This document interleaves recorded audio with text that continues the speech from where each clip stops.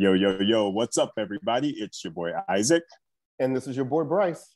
And we are Bruthas on Tennis. And folks, we've got a wonderful, wonderful interview with you today. You know our obsession with the film King Richard. We've got yet another player in that sequence uh, here today, and we are excited to talk to him. Bryce, I know you've got a lot of information on our guest, and I will pass it to you to share with our listeners. Uh, yes, I'm very excited today because we will be speaking with the screenwriter of King Richard, Mr. Zach Baylin. And, you know, from everything that we've heard, uh, and we've talked to a lot of people about this movie and a lot of people about the making of this movie.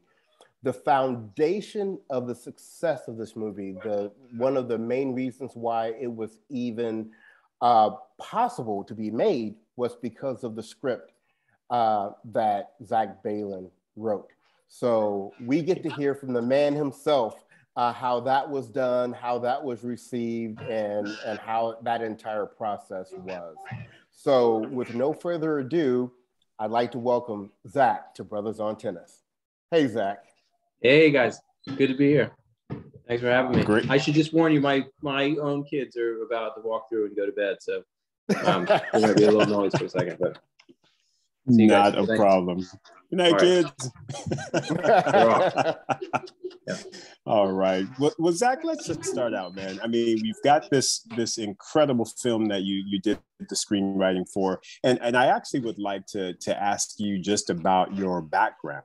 So tell our listeners and viewers a little bit about yourself where you grew up what you know what kind of got you into this this field of screenwriting and and what brought you into the sport of tennis yeah, well, I'm. I grew up in Wilmington, Delaware, um, and I mean, sports were always a huge part of my life. So I, I played, I played football, basketball, baseball was my main three sports, and then I when I, I went to college in Baltimore at Johns Hopkins, and I played baseball and football there, and then I started studying um, studying film at at Hopkins, and sort of got into screenwriting while I was there so that was i mean those those two things kind of melded together while i was at while i was in baltimore. Um, but in terms of tennis i mean i had played my dad was a very good tennis player. Um, he had played actually he had, a, he had a kind of a strange he had been a college baseball player at, at uh, unc and then when he he's a psychologist and when he was getting his phd he played like tennis for you know he was 35 or something but he played on the on the team at, at his college. You know he was the old guy but wow. so he was a great athlete. So we used to go out and hit all the time. Um, and then the very first project that i ever sold as a screenwriter it took me you know it took me a lot of years in new york. I was i was doing other jobs within the like within the film industry but i wanted to write. And um, but the very first thing like script i sold was a television show that was sort of like loosely based around Roger Federer, I would say. So really? I had done, you know, I started playing a lot of tennis in New York in in my 20s and had become kind of obsessed with with Federer and um and so wrote it's a very like strange script. You know, it was like a it was like if Federer was had gotten into a Tiger Woods ish scandal. Um, and but anyway, I'd done a lot of research into tennis. I'd really become obsessed with it, and that certainly helped when I got involved with, with this project because I had I had a love for it, but I also had a lot of I had a background where I I had I had played a lot, but I had done I had spent a lot of time you know researching the sort of ins and outs of professional of the professional side of the sport. I tell you what, you are talking to two of the biggest Federer fans uh, around. Whatever happened to that script? I mean, is it was good. It like TNT bought it, um, and there was a the main other main character was was like his manager, and the manager at the time, Com- Common had signed on to produce and play that role, so um, so I worked with him on it for a couple years, and I don't know, you know, things, a lot of scripts, you know, they sell and then they, there's like regime changes at the, at the networks and it never moved forward. But then Common and I tried to mount it again a couple years later and sort of hit a couple roadblocks. I would totally do it again. I thought it was a really good, it was a really good story, but oh yeah, maybe, maybe you, someone will, maybe someone will read it and, and want to, want to resurface it you got to keep that one going, my friend. Yeah. got to keep cycling through that. If it's if it's Roger Federer, we're in. Put it that I way. know. We Me too. That's what the end goal of all this stuff was to try to get on the court with Federer, and it hasn't happened. So. oh, you're probably pretty close now. Uh, well, let, let's keep it going about the college years, though. So you're at John Hopkins University, and you're a two-time academic All-American uh, football. Uh, where does the film piece come in? Oh, you you dug deep. You, you did the research, huh? Um, I mean, I I had been kind of like a. I mean, I think the two things that I was really interested as a kid were sports and, and movies, and I would, you know, I would either be at a tennis court or on a baseball field somewhere, or I I hung out a lot at this video store in my in my neighborhood in Wilmington, and um, and so I knew that I was it was kind of a passion, but I didn't know what aspect of filmmaking I was interested in. Um, and then I was in school, and I I was at Hopkins, and I took a a screenwriting class just kind of on a whim, and really fell in love with the with the process. I mean, screenwriting is very specific. It has a different, you know, the format of it is kind of is, is strange and very restrictive, and there's um, you know there there can be really um, I mean constrictive structural elements to writing a script, but I think those parameters to me like were were exciting. I the the idea of writing a novel always seemed very daunting to me. It's so open-ended, so many choices, but with a film you really have you got to play in these lanes, and I, I liked that. And and then you know I didn't have I didn't have any connections in the film world coming out of college or getting into college, and that I, that this was at a time where there was still the idea where you could you were hearing stories about people like Shane Black who wrote Lethal Weapon and kind of these big screenwriters who came out of nowhere and wrote a script and sold it for like five million bucks. And I was, you know, I think in the back of my mind somewhere I was like, oh, that sounds pretty good. We should I should do that. Um, and then, you know, and then I didn't sell a script for 15 years. But, um, but I think the idea that it was a it was a way into the film industry that was essentially free. You know, I, that the other aspects of you know of filmmaking that you're doing when you're just starting off and you're you're making short films with your friends and you're trying to mount or raise money to make your own first feature. They, that it's a very expensive industry and, and a very it's the threshold to entry is really high and so writing was always felt to me like a way where i could i could do it i could incubate something for free essentially and then try to have something really really great that i could could take out and would be my calling card and you know and i had i had like encouraging aspects along the way. I think the first script I'd written did it did get optioned eventually, and um, you know never got made. I didn't really see much money out of it, but it at least was it gave me the confidence that I could. I don't know that you know that that I had enough of. I knew enough of what I was doing to keep at least keep trying to do it. Mm-hmm. Mm-hmm. So. I, I'm curious, uh, Zach. In screenwriting, and you've been in, in that field for a, a, a, very long time at this point. What are some of the things that you consider to be sort of the keys to success or kind of what tell us what are the things that you've learned on this journey because again we've got listeners and viewers and again as you know we're Bruthas on Tennis so we've got people of color and i think it's important that they hear someone successful like you and and what are those things that you feel you found as being these, these are my foundation points to be successful in this particular field. Yeah i mean it's a good question. I think i think for me so my trajectory it took you know, it took me a very long time to to really break through in the industry in a meaningful way. And I had, I for essentially for 15 years out of college, I I worked in the set department in a lot of different film film and television productions in New York.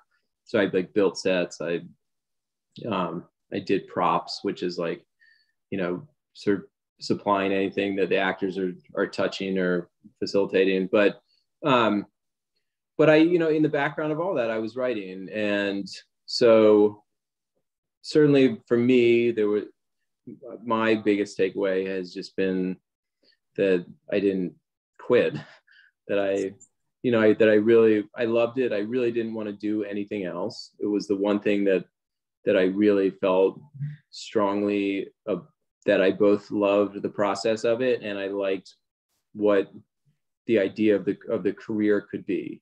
You know, so both the ice, you know, writing is very isolating. So you know, I, I enjoy doing that on my own, but I also like the collaboration of what happens when the script goes forward. And so, um, I mean, in some ways, that you know, I was just, I was determined and I, but I also, I, I really credit that I had built a, I had a, I had a job that enabled me to feel like I had stability in my life. That that it, sorry that I um, you know I certainly wasn't living lavishly, eh, but I but I felt like I was had was taking care of my responsibilities, eh, and um, and that I don't know, it made it so it wasn't in ways it was life or death for me, but it also but I knew that there was like a foundation that I had as well. So that I think I, I, I look at a lot of my friends who have, you know, also have like artistic pursuits and i think a lot of the ones that have been successful because it can because when you're pursuing something artistic or where there's i don't know sometimes it's just it just comes down to luck that there's so many talented people out there who have great great you know who are great musicians are great painters or great whatever and you still have to you still have to end up in the in the situation where your work can be recognized. And that doesn't always happen. And that having like a, a life that is going on at the same time i think was really important for me. Um so that and then just like you know i i was i i, I still am this way but uh, i was very protective of the work that i submitted in that i never I would work on something for for a very long time before I would show it to anyone. I, where I was really like, I'm not going to show anyone anything that I think is half-assed, and and I and I kind of stick by that because I don't think you get that many chances to make like a first impression, especially in this industry, and that I I know a lot of a lot of people where I get sent a lot of scripts now where you know someone says we read my script and I say I, I had someone that did that to me and really helped me and I, I want to be helpful in that way. But you know sometimes you read scripts and people haven't proofread them or they haven't they haven't actually put in the work where it's like this is professional. And i think it's very important to know that when you're putting your foot out there in the world that you like try to you're putting your best foot forward Right. And you know what must be a very difficult thing to, to, I guess, master or to own is when you have that kind of a mindset, you have to not get yourself in this analysis paralysis, right? You have to be able to reach a point where you understand that your product is ready to go and you just don't spend like extra time making minute changes and and never really completing. And never really compute never really being ready to i mean there's some of this in like in richard williams i think but the never like at some point you have to play your cards. And i so i think it is it's having confidence that you you believe you have an instinct in what you're doing and you know when it's when it's going to be done when it's ready to, to be shown and yeah you can i think there's a kind of an adage in film, you know, that films are never completed, they're just abandoned. And that because you can keep tinkering with all these things forever, mm-hmm. you know, mm-hmm. that that's right. And Um, and so, but I think it, you, you know, you have to trust your own taste and your own instinct to say, okay, like I, I believe that this is really good now. And I know that like I didn't, I spent enough time with it to like that that's not a whim that, you know, that I've, I've sat in that decision for long enough to say like, I really believe in this. Um, but yeah, I think, I think you have to, at some point you got to put your, put it out in the world, whatever it is. And, um, because yeah, it can become paralyzing. Right. And I just wanted to follow up on something else that you said when you were talking about maybe you need a little bit of luck. And, and I don't know, I wasn't going to say luck, I was going to say fate or, you know, something like that. But, you know, let's transition a little bit into the King Richard project. And so, as you know, we've already talked to producer Tim White. And so he talked to us about that meeting that you guys had in 2017 where I, am gonna let you tell our, yeah. our audience uh, that story. Yeah. So essentially, I had a I had a general meeting, which is which in in the film industry is like uh, you get set up on a lot of blind dates, essentially with producers who have ideas or they have or you have a script or a story that you're interested in finding a producer for. And I had a meeting with with this guy Tim White, who you know hopefully people have seen this one, and we were in New York and we had met for about an hour in like a hotel lobby talking about a variety of different ideas that he was working on or that I was working on. And then we were just going to say goodbye. And it had been like a, you know, nice to meet you. Hope maybe we'll, maybe we'll find something in the future. And as I was leaving the meeting, I mentioned to him that I was, I was on my way to the US Open. Um, so that was September of 2017. And Tim was like, well, if you like tennis, you know, give me five more minutes because I have this movie idea that I've been trying to figure out for like for a long time. And I sat back down and that was he said, What do you know about Richard Williams and, and Venus and Serena?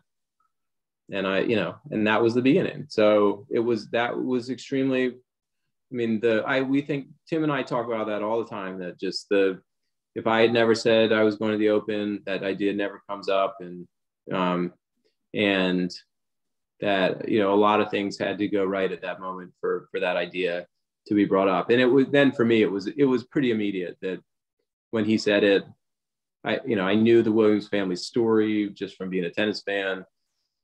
Um, i knew about richard peripherally just i'm sure as you know as as anyone watching watching those matches in those years had but i i didn't really know the details or i didn't remember them. And then I went home that weekend.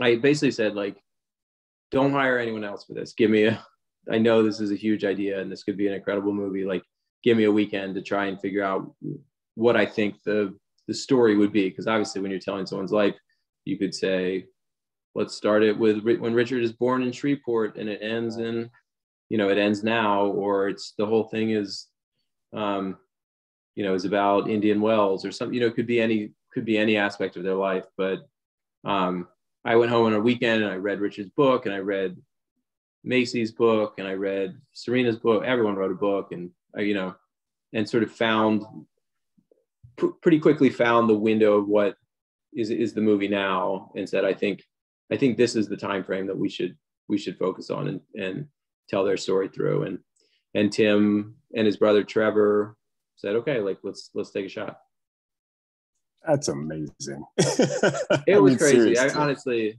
it's never happened for me like that before. One that like, you know, someone tells you an idea and you're like, this is the greatest idea for a, for a movie I've ever heard.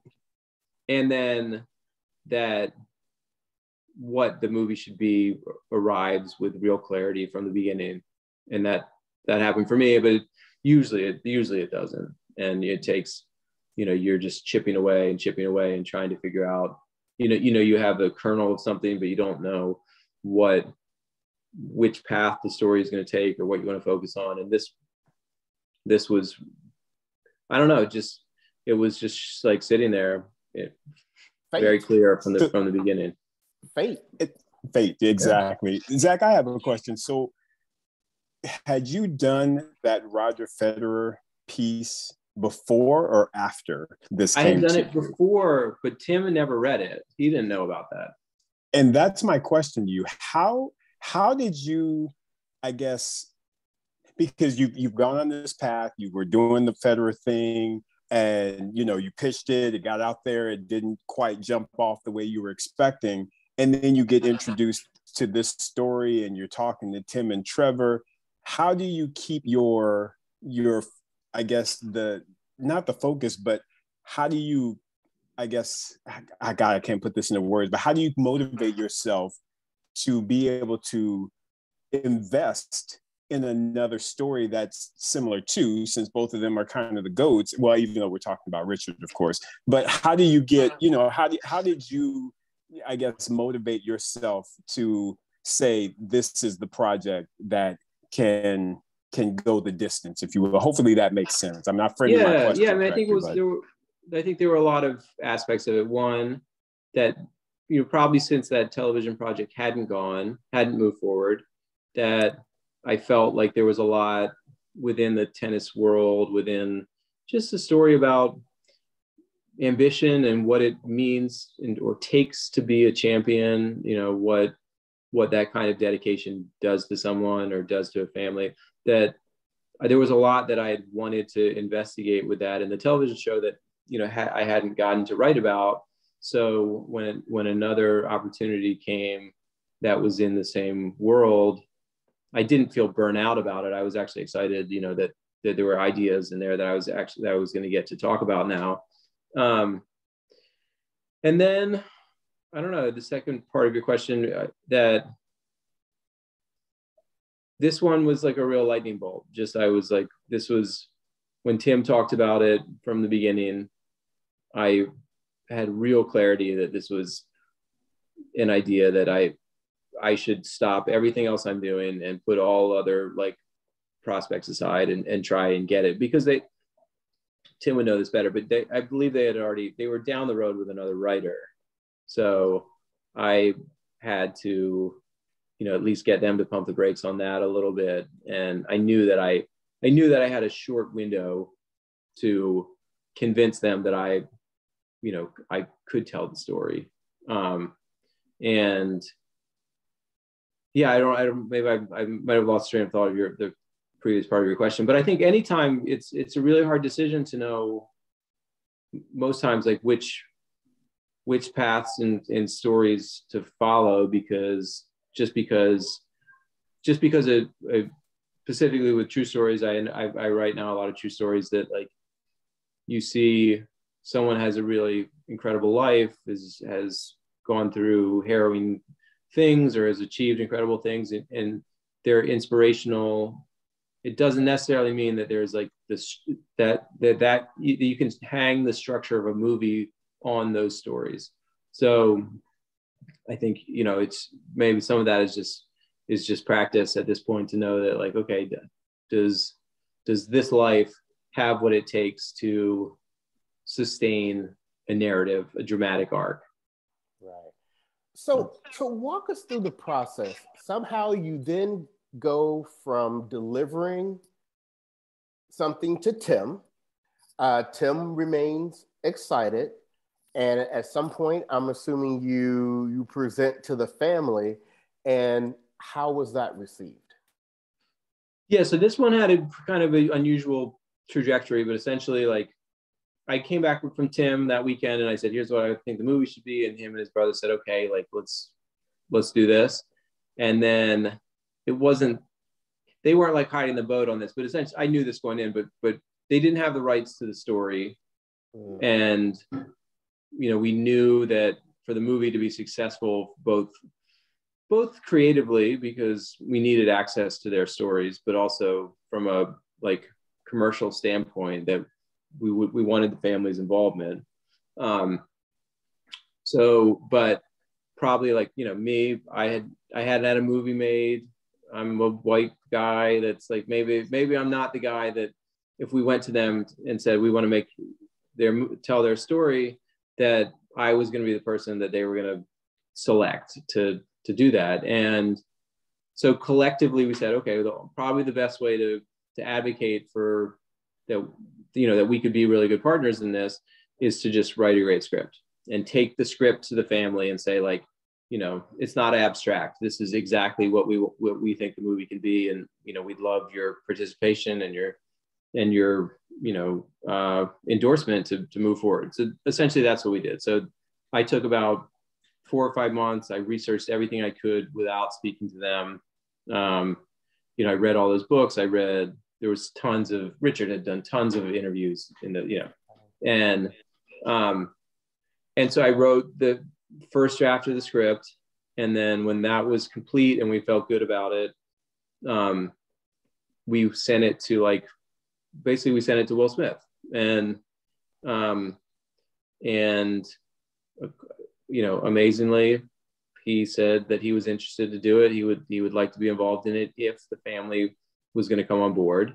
And then, you know, really Tim and Trevor and I then went on a long process of trying to get the script in front of Venus and Serena.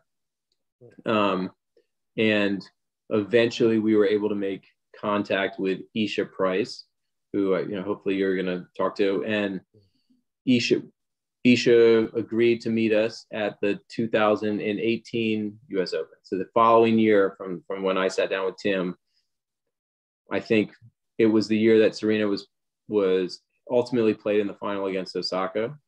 Mm-hmm. Um, but I think Venus and Serena were playing on the same day.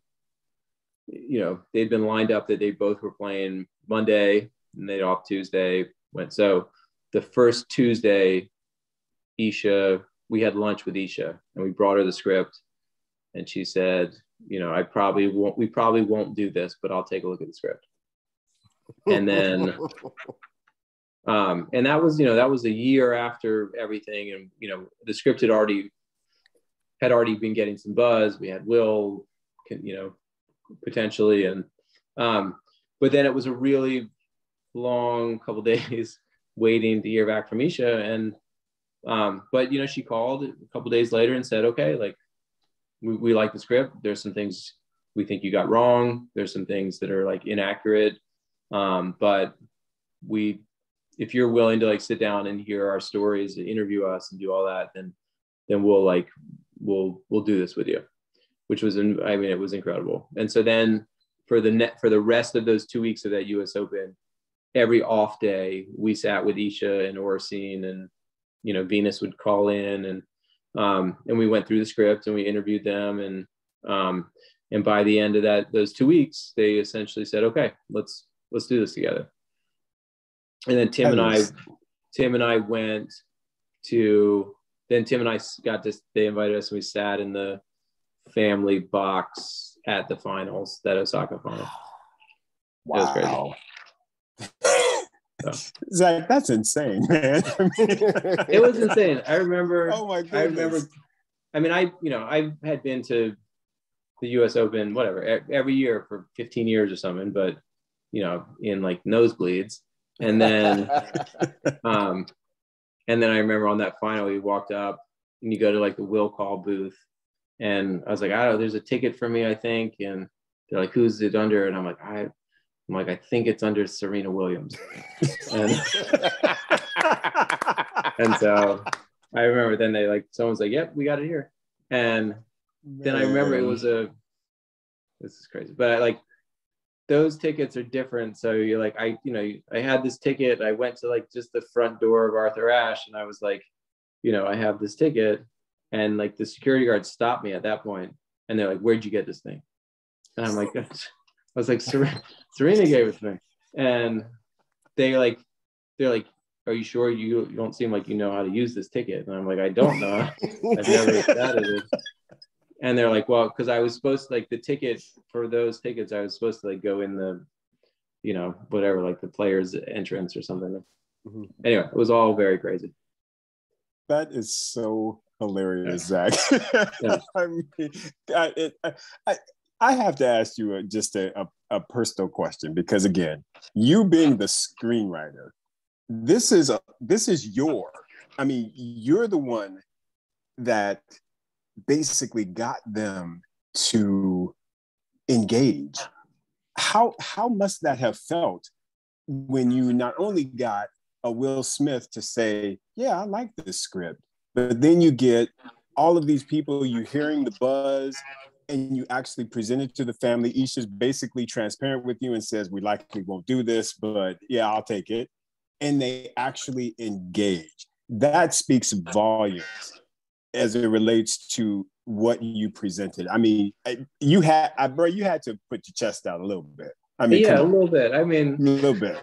Yeah, it was. Uh, I felt very good during those during those times. It was a really long pro. I mean, you know, I had confidence that the script was really good. When I finished it, I remember telling Tim and Trevor, I was like, "This is this is the best thing I've ever written," and I don't know what'll happen. I don't know if we will. I don't know if we'll be able to open all the doors that we, that we need to for the movie to get made, but like, this thing is good, and um, you know, and like, thankfully, that continued to be like the reception. Um, but it was different, certainly different taking it to the family because, you know, it was it was their lives, it was their, you know, the it was their voices, it was their their experiences, and if anyone was going to call BS on any of it, and they it was going to be them, and so it was. I don't know. Yeah, I, in some ways, I still can't really believe that the that it that they read it and they said this this feels like us. You know, I think you obviously there were things that that they said do not, but for the you know for the majority of it, they said you know you got it right, and not felt great, and I was yeah we were I was I was partying in that box at the. At the I bet you were. So my question for you is: so as the writer now, you have to sit down and you know meet with the different members of the family, getting their perspectives, getting that all right. Of the perceptions you had going into this project, what were some of the things that maybe surprised you as you got a chance to learn Venus and Richard and Serena and Oracene and Isha? Yeah. I mean, you know, different aspects of all of them. I, I think that, you know, probably for, for me with Richard, there were two things. I didn't know anything about Richard's past. You know, I didn't before I started researching the movie. I, maybe I knew he was from from the South, but I had no idea what his experiences were growing up. Um, and that was that was really the key for me from the beginning. Was once I read about what Richard's childhood had been like in Shreveport, and you know how he faced the most incredible racism like imaginable the most incredible poverty um, you know he didn't have he didn't have he didn't have plumbing in a house until he was 18 when he moved to chicago. Um, and that anything that i don't know anything that anyone felt or said about richard once he had once he was a public figure i sort of threw out the door because i when, when I had felt like I had at some grasp of what his experience had been, I just felt like I will go on a ride with this guy, whatever he does, you know. And so that was, and I felt like if I could put an audience in, in his in those shoes, then they would really change their perspective about about him. Because obviously, you know, Richard was a was seen as a controversial figure, you know. And there, look, there are aspects of Richard's like personality just like out of the gate that are controversial like he, but I, but a lot of the things that he was getting knocked for in retrospect, you look back and say like he was people were judging him very blindly. And um, so that was, you know, for me, that was just a really huge entry point into, into trying to understand who he was. And then just, the, just, I think the idea of how soft and enthusiastic a coach he was to Venus and Serena. That you know, you look at other people like, well, I don't know, you guys have probably read Agassi's book or, yeah. um, you know, or Earl Woods or I don't know any any of these kind of domineering sports dads, and that they can present as maybe friendlier to the outside public, and then on the court with their kids, they're like, you know, get it done. And so I, I probably assume that's what Richard was like, but that he was very the opposite. Like he was, he was a really gentle coach and a, a very like gentle father. So I think that to me that was the biggest discovery that I made about him. And then, you know, with with Oracene, just that the biggest stuff I changed in the script once I met with them was it was Oracene, and just realizing because she had been, you know, she wasn't a very forward facing person in the public eye. She was not interested in that, um, and so I think her role within the family had not been as well documented, but also, you know, she was on the court with them every day. Like, so she, the two, I mean, it's all, it's all insane, but the, Richard had never played tennis before, you know, until 1978.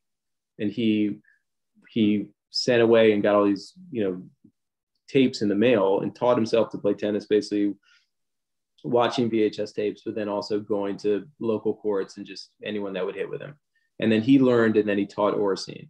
And so then once they learned, then they jointly would, you know, she would be on one court with Serena and he would be on one with Venus or they'd swap. And so just, you know, that that she really was an integral part of their coaching, um, you know, was a big, was a big revelation. And then I, I don't know, I think people, other people probably knew this and I didn't, but just that Venus and Serena how how close they were. You know, I think that the way they'd been covered in the press when they were playing, you know, the, their matches when they would play each other, like people really got on them from not like not going 100. I think there was a perception that they took it easy on each other, or that or that Richard was fixing the matches or something, and all that stuff seems to be BS to me. But that I think it was complicated for them because they're really really close.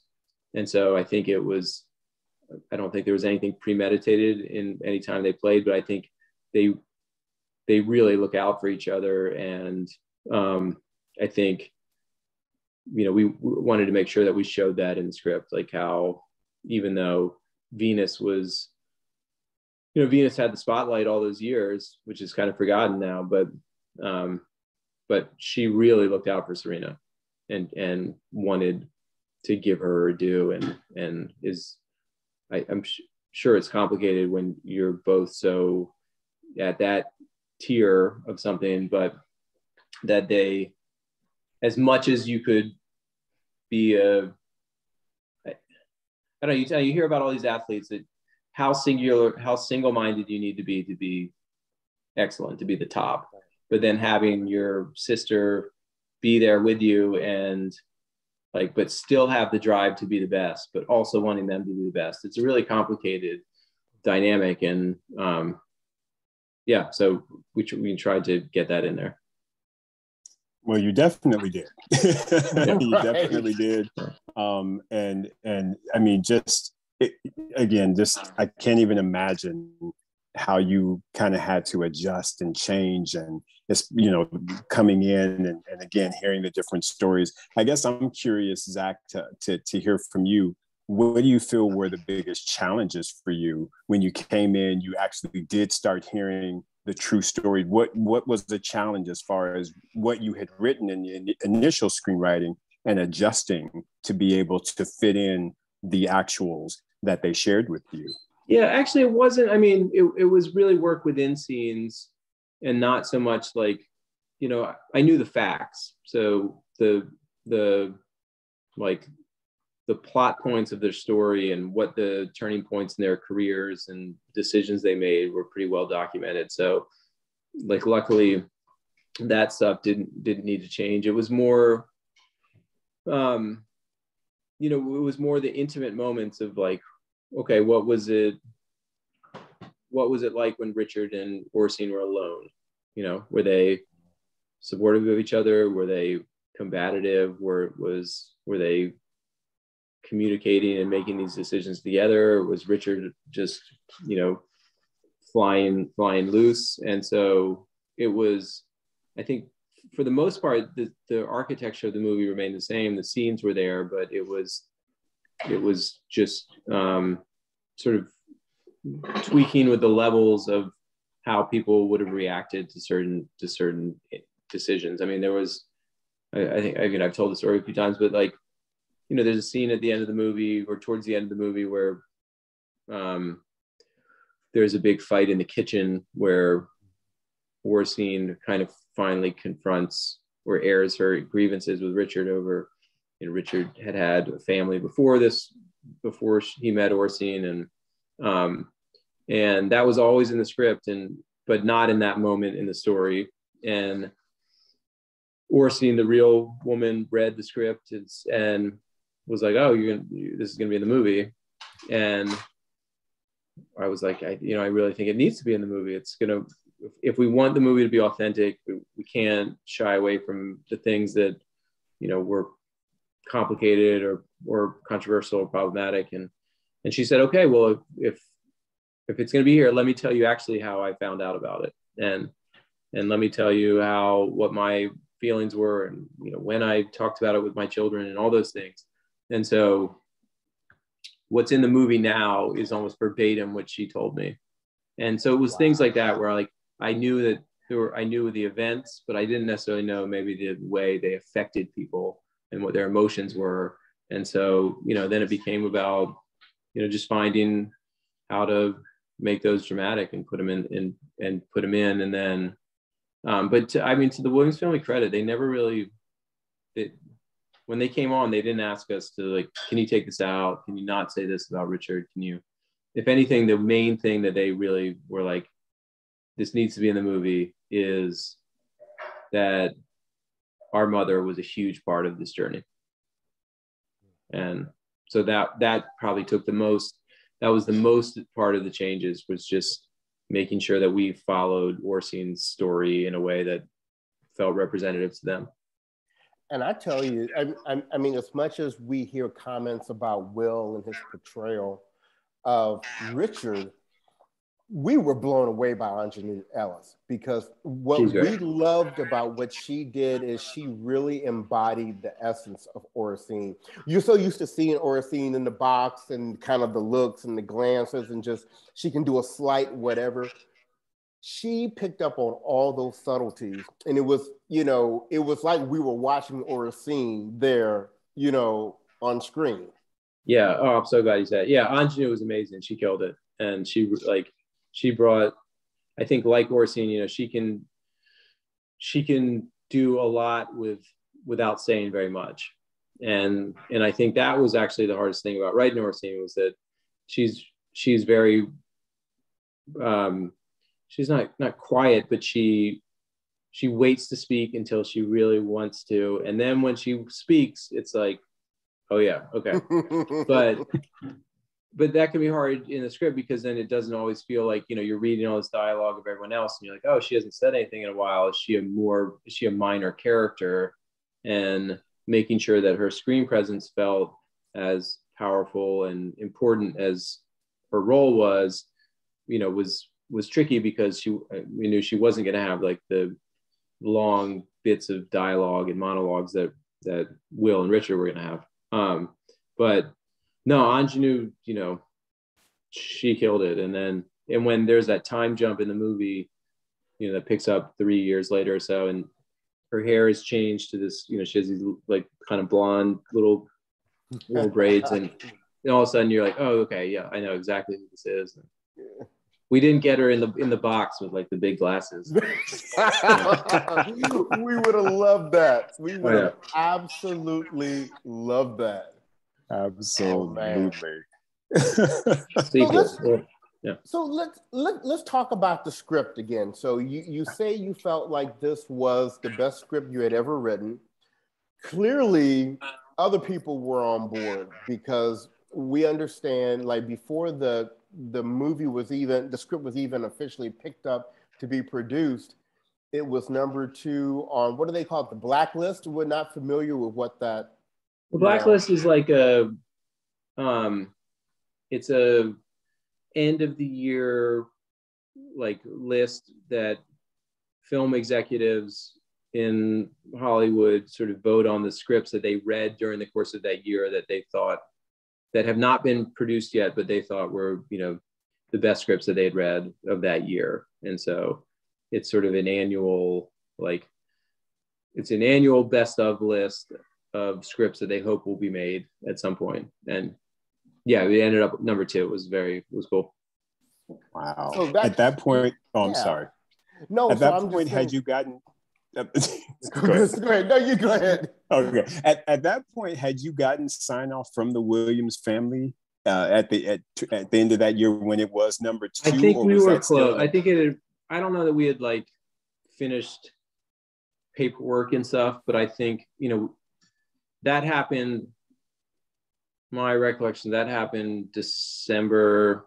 Reckless comes out in December, so that must have been December of 2018, and then mm-hmm. we had been with them at the U.S. Open in September of 2018. So they were already like on board, but we hadn't we hadn't yet like finalized everything enough that we could take it out to like studios as a like a package to sell.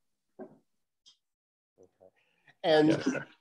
and and in terms of a current state, and I could be wrong, my numbers could be off, but you have so far been nominated, is it 11 times for Best Original Screenplay for including the Academy Awards and the Writers Guild of America? I don't know about the number of it, but yes, the Oscars got nominated, the and the Writers Guild, and then I got nominated for BAFTA, the British Film Awards, Uh-huh. um, and Critics' Choice, and Hollywood Critics Association, and you have to send me your list. That sounds better. Than Oh, okay. So, so, so I'm gonna get a little. I'm gonna get a little spicy with you right now. Yeah. Th- th- there's one that I was looking for in that list that I didn't see, and I didn't see the Golden Globes there. Now, my, my assumption is is when I see you're nominated for an Oscar and Writers Guild and Critics' Choice and all that, how how does the Golden Globes get missed? I, the Golden Globes were sort of a this is like a off year or two for them. You know, they have they've kind of not because I wasn't involved, but because you know they they they're not having a tele they didn't have a telecast this year. They the I think they're going through some like reformation because it came out in the in the, the last several years that they didn't have it extremely an extreme lack of diversity in their Right. voting body. So I think there was a feeling Hollywood as a whole kind of pulled back from them and said, you gotta like, you know, get your stuff together and then come back. And so so there they did make nominations this year. Will I think Will won, but it wasn't a big televised event. And and so that's one reason. Well, the other thing is that that the Oscars nominate 10 screenplays and the Golden Globes nominate five. So Mm. I don't know. Okay. I'm happy to be in any of them. I'm not, I'm not That's right. I mean. Zach, when it, when it when it started rolling in and you started hearing all of these nominations, talk to us about how you felt, man. I mean, how how what is that experience? I mean, it's incredible. On on there's no real way to like to put into words like how gratifying it really is because I think you know for me as a writer, um, that's it's kind that's feels like kind of the peak of of recognition. Um, but also you know I'm like the other people in the who are nominated in the category that I'm in are like legitimately my heroes. Like it would be like not being nominated next to like Nadal and Federer and Tommy Haas and whoever. Like it's you know, it's Paul Thomas Anderson who has Licorice Pizza, but he directed, wrote and directed Boogie Nights and There Will Be Blood and um, Adam McKay. You know, just people that I like truly, as I was deciding that I wanted to write, I was like reading these people's scripts. So um, just to have a, like a mention of my name among those people is like okay like i'm that's that in some ways that's enough and i, I feel like it it validates a lot of things for me so that's that's awesome um and no, i mean just like that the movie it's, like recognition that the movie is reaching people. And even though it was you know it's a tricky year for movies people our movie initially was supposed to be in theaters and like solely in theaters. And then once the pandemic hit all the Warner Brothers movies of this year moved onto so they would be on HBO Max on the same the same time.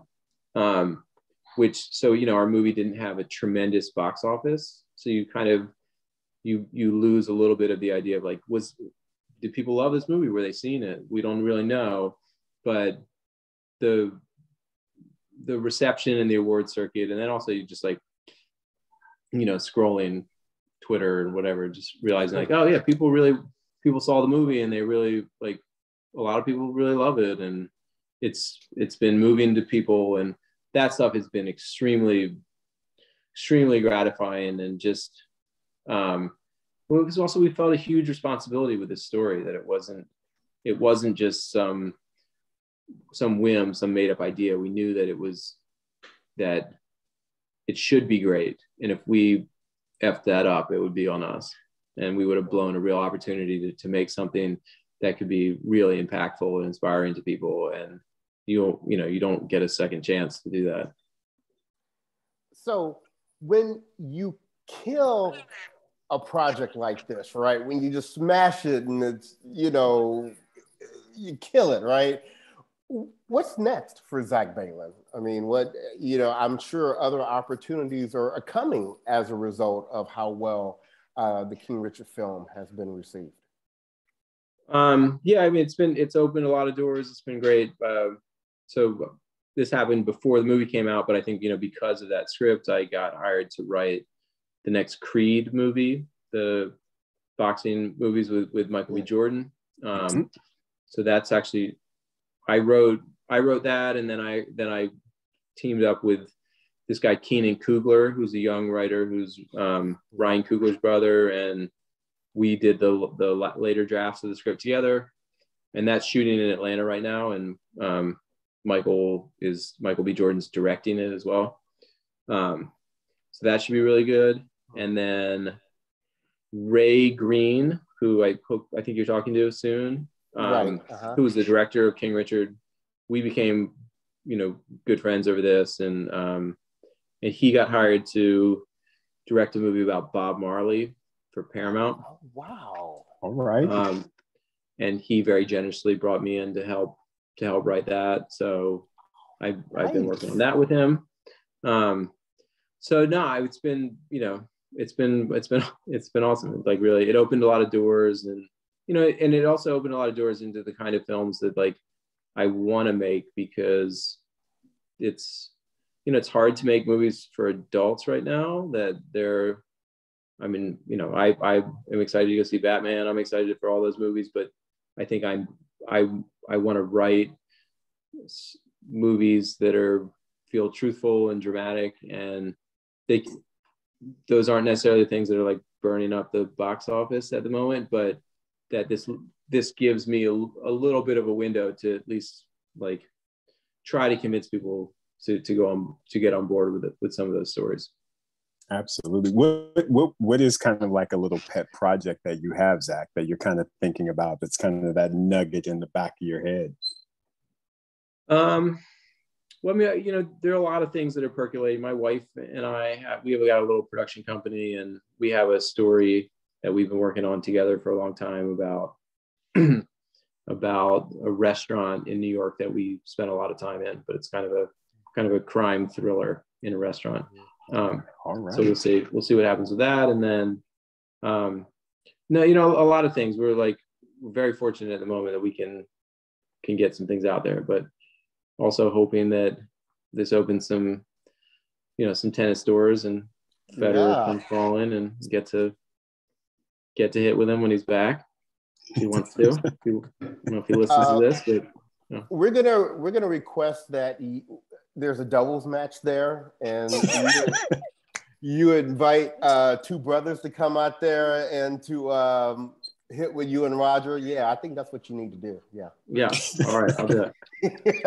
I'll tell you, like the biggest perk of the whole movie is that, like I said, you know, Tim White, who was the producer, Tim was like a top 50 junior or something, you know, right. and he's much better tennis player than I am, but he would often be like, "Oh, why don't you come out and we can like hit on a Saturday?" And then he's like, "I might have some notes on the script I want you to do, but he's like, just hit with me for an hour and then we'll talk about things." So I got a lot of free like you know hitting with much better players than I would have before, and the um, the guy who, who essentially taught the actresses Demi and Saniyya who play Venus and Serena, who taught them to play tennis was this guy named Eric Taino, who Eric was a top 200 pro who beat Federer in a pro match, wow. and I, and I think I think Eric was like number one singles at UCLA in the okay. you know in the 90s, and um, anyway he was so he was on set every day, and then I would just like bring my racket and make Eric hit with me at lunchtime.